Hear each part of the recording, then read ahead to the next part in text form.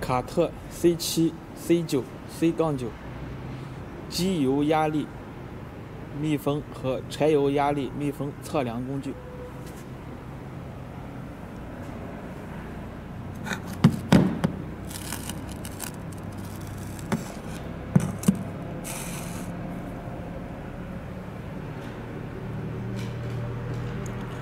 首先，将配用器装入适配器，用两颗螺丝压紧。装入密封工具后，拿到消焰器上测试压力。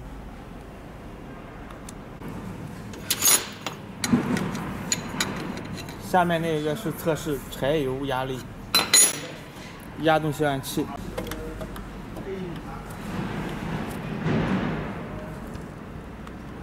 上面是测试机油压力，然后压动消音器，看是否能保持压力。